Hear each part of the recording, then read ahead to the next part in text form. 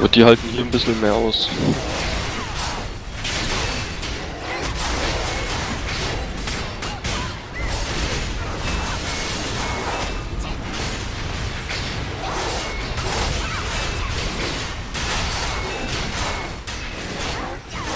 Wir sind auch wieder gildenfest.